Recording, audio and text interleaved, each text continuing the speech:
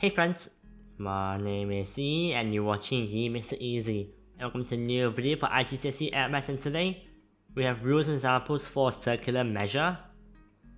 And we'll start off with some basics for circular measure but before you get into it, don't forget to leave a like, subscribe, and ring the notification bell so that you don't miss out on any future videos.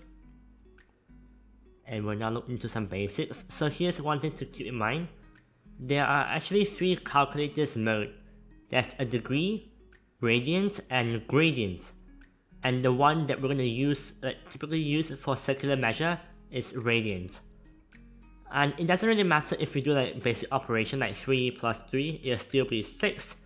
But what matters is that when you use trigonometric um, function, like sine 1 in a degree mode, degree is not the same as sine 1 in a radiant mode and we'll look into it later. And now we have some basics for radians. So a radian. One radian is the measure of the central angle whose arc length is the same as the radius of a circle. So basically this is arc length. This right here, this part.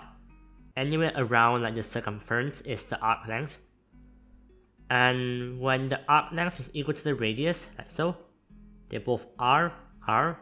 This is 1 radian. And 1 pi radian, or like pi radian, like pi, is equal to 180 degree. And 2 pi, oops, 2 pi, will be equal to 360 degree. And pi over 2 will be 90 degree, and so on. Then now we have the difference between degree and radians. So to convert degree to radians, we, we like determine the degree, we multiply the degree by pi over 180, and simplify the degree with 180, like just simplify it. So let's say if you have 60 degree, if I want to convert this to radiant, I times it by 60 pi over 180, and simplify this at 1, 3, that means it'll be pi over 3 radiant, RAD, and it's the same. And to convert from radians to degree, you'll just flip what you have to what you have to multiply by. So like basically determine the radian, multiply the radian by 180 over pi, and simplify the expression. So let's say we have the um, the radian of pi over 3. You multiply by 180 over pi, 180 over 3 pi, pi pi cancel out, this equals 60, therefore it's 60 degree. Like so. And now we have some degree in radians and a different circle. So there are some things to remember about. So 0 degree will be equal to 12 pi over 6 or basically 2 pi. Because 0 is the same as 360 degree if you turn a full circle around. And 0, 30, 60, 90, 120 and so on. And you don't have to memorize all these like, like conversion because you can just use a conversion from this part right here to easily convert from radians to degrees. Then now we have some equations for circular measure. So we have some equations for the length of arc and chord, area of segment, triangle, and sector. And one thing to note is that they're all in radians. So put your calculator in the radian mode. So number one, we have the area of a sector. It'll be area equals half r squared theta and r is a, is a radius, and theta is the degree. Degree. And the area of a sector could be could be like rewritten as a equals half rs, and we'll look into it why. And the length of the chord, and this is basically like a chord, where you have like a segment, the chord, this will be the chord. So the length of the chord will be 2r sine theta over 2 and the length of an arc, an arc is basically the curved part, an arc would be s equals r theta. And you can see how they relate. And you can basically substitute the r theta by s. And here's the area of a segment. It's half r squared theta minus sine theta. And the segment is basically, when you have when you draw a chord, this part here will be a segment. And the area of a triangle is just half r squared sine theta, or you can use that other method, like half AB sine C. But in this case, AB, they're both the, the radius, so it's just R squared. And now we have some examples for circular measure. And so the diagram here on the left shows a circle center O and the radius of 8 cm inscribed in the sector SPT of a circle at center P, right here. So it's basically like a big triangle, uh, sorry, big circle. And the straight lines SP and TP are tangents to the circle at point Q and point, point R respectively. Assuming pi is 3.142, calculate the length in cm of the arc ST. So remember the arc formula is S is basically arc equals R theta. We have theta right here. Now we have to find the arc length. Sorry, the arc, uh, sorry, the radius. So we can't find this straight away, right? Because we don't have any measurement. But what we can do is that we can find this distance right here. And plus this distance. Because we know this distance is the radius and it's 8 cm and we can just find this distance using trigonometry. Or like Pythagoras theorem, sorry. So basically you just split it in half. And you can notice how it's a right angle triangle so it just translates to this. Here this will be 30 degree. Because remember how we split 60 degree in half so it will be 30 degree and this will be 8 centimeter. And we're trying to find this length hypotenuse. So using trigonometry, we can use um, sine, so us s, sine 30 equals 8 cm over h, and therefore the hypotenuse is 8 divided by sine theta, and remember to put your calculator in degree mode, 8 over sine theta to get um, 16 centimeter. So the hypotenuse is 16 centimeter, and therefore it means the whole uh, whole radius of the whole circle, the bigger circle, or like PT or PS, it's R equals the hypotenuse plus the radius of the small circle, 16 plus 8 equals 24. And that's one thing to remind about. So now we have to convert the 60 degree into um, radiant. So let's just rub this up here. Roll this up.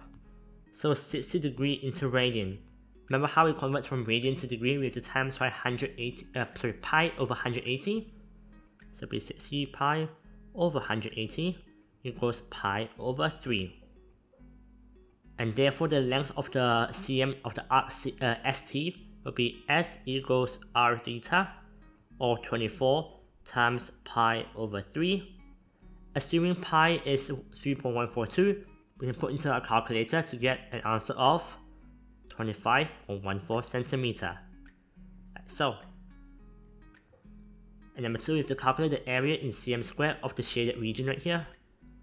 So what we could do is that we could find the area of these two triangles and find the area of this section right here and that will take away from the whole area right here.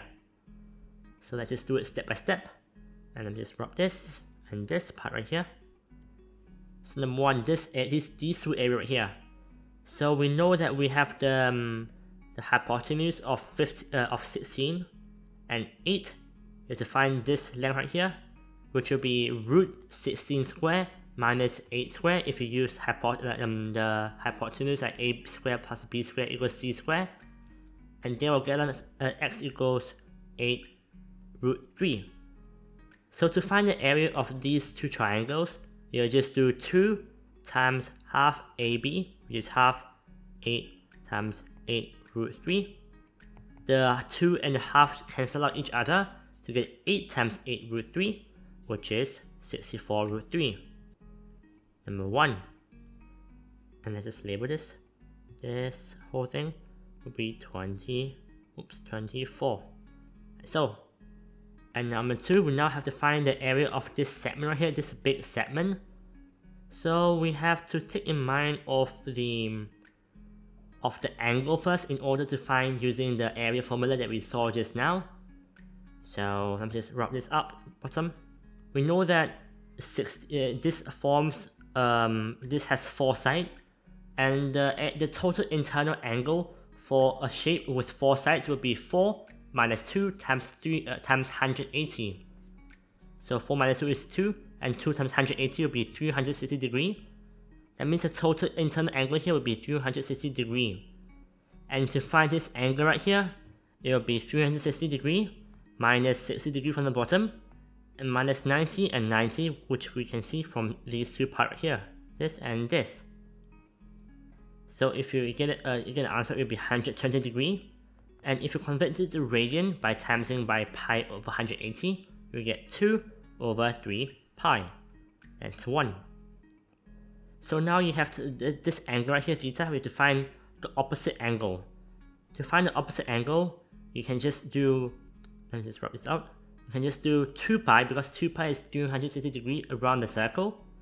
2 pi minus 2 over 3 pi to get an answer of 4 over 3 pi. Like so. So now we know that this circle right here, let me just draw this, this is 4 over 3 pi. So we have to find that angle, uh, that area too.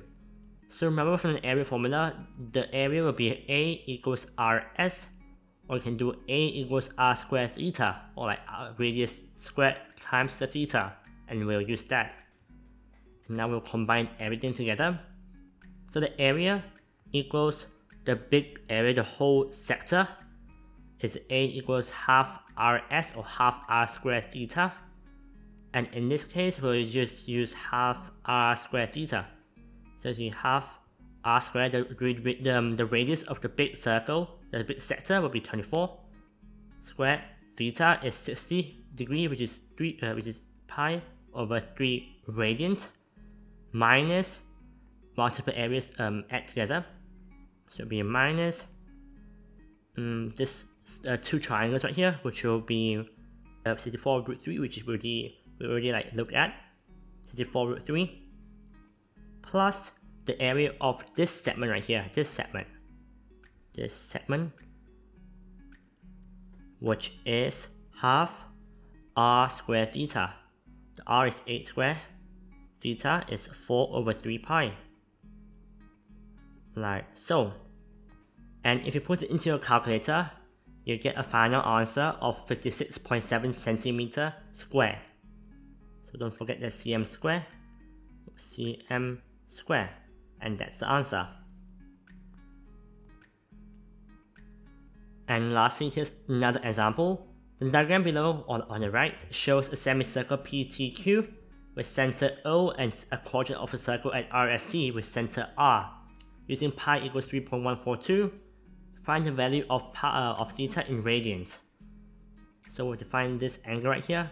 So what you do is that you can just find this, oops, you can just find this angle right here by using trigonometry and just minus by uh, pi minus that angle. So let's just write it out here. We know that this will be 90 degree. So it's a Pythagoras triangle. 5, 2.5, and theta. So what we can use to solve theta is theta equals sine inverse or arcsine equals um so 5 like so. Solving it get to let me just put into a calculator. And remember this will be in radians and you get 1 over 6 pi. And that's the angle of this small theta right here. Therefore, the value of theta will be the um, 180 degree, which is pi minus 1 over 6 pi. So pi over 1 over 6 pi, which you will get 5 over 6 pi radian. Number 1. Number 2, find the perimeter in centimeter of the whole diagram. Let me just rub this out the whole diagram. So we can just easily find this um, big set, a big um, big arc length right here, which is s equals r theta, where r is 5 times by theta 5 over 6 theta. And then number 2, we define this arc length right here. And we already have the, um, the radius of 2.5 centimeter. So 2.5 centimeter times 90 degree and 90 degree is just pi over 2. Pi over, oops, 2.5 times pi over 2, like so. And now we have to find this area right here, which is also 2.5, sorry, this parameter, which is also 2.5 because it's a radius of the small circle, plus 2.5. And for OR, we can use Pythagoras to find out, not Pythagoras, sorry, the no sorry, it is Pythagoras. So 5, 2.5, we can find x by doing root of 5 square minus 2.5 square, which gets us 5 over 5 root 3 over 2 plus, oops, plus 5 root 3 over 2 plus by lastly this radius right here which is just 5 and if you type into a calculator everything you add it up it will be 28.85 centimeter because it's not an area it's perimeter. And lastly the area in centimeter square of the shaded region. Just rub this out. Um, like so so what we do is that we can just find this shaded region. We can just take um, we can just take we can just imagine that we double the size of the whole region. Like so like this and we can just remember there's a formula for this area here this small little se uh, uh, section or like a segment or whatever. So the formula is basically a equals half r square times by theta minus sine theta. Like so and we can find this area by doing let's, let's just do it now. Area equals half 5 square times by theta. The theta will be this angle right here, which would be 1 over 6 times by 2, would be 2 over 6 or 1 over 3 pi minus sine of 1 over 3 pi as well. This will get you an answer of, let me just type into my calculator, 1 over 2, oops, 1 over 2 times the, the, the, um, the radius, which is 5 times 5 square, times theta 1 over 3, theta minus sine 1 over 3 theta to get you an answer of oops 1 over 3 pi to get an answer of 2.26 2.26 but don't forget you have to half this value because you have a double value and it's a whole thing. And we just need to find this small part right here which is, which is just half the value. So divide that value by 2 to get an answer of 1.13 132 actually for this area right here. So once we have this area right here we define the area of this circle this segment minus the area of the small area. So we can just do here. The area will be, will be equal to 1 4 of, this, of, like the, of like the whole circle pi r square pi. The radius is 2.5 square and that will get you this segment right here minus the small area right here which is just minus 1.132 and this will give you a final answer of 3.78 centimeters square and that's the final answer and that's it for this rules and examples video for IGCSE Add Maths for today. We look into circular measure. And I hope you'll find it useful and helpful. And if you did, please leave a like and subscribe and ring the notification bell so that you don't miss out on any future videos. And if you have any feedbacks or any like comments about my channel or my YouTube or my website, just drop that in the comment section and I'll reply to them. And don't forget to check out my social media in the description, for example LinkedIn or YouTube or Instagram. And if you need any learning resources or any teaching resources, you can check it out in my website in the description, or you can type it out in your browser at www.yimakesiteasy.com. And I hope you'll find it useful and helpful, and I'll see you all in the next video, which will be questions for circular measure. But until then, stay safe and happy learning.